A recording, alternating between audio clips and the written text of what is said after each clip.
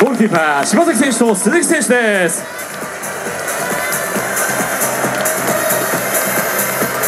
さあそれでは私も始めてみます。それではお願いいたします。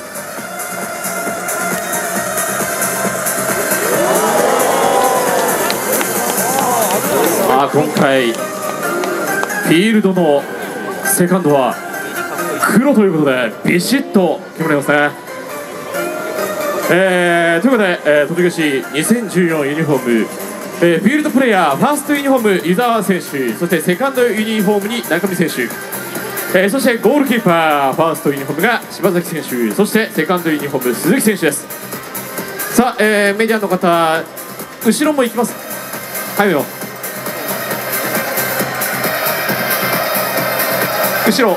あ後ろですね。はいありがとうございます。すいません。はい。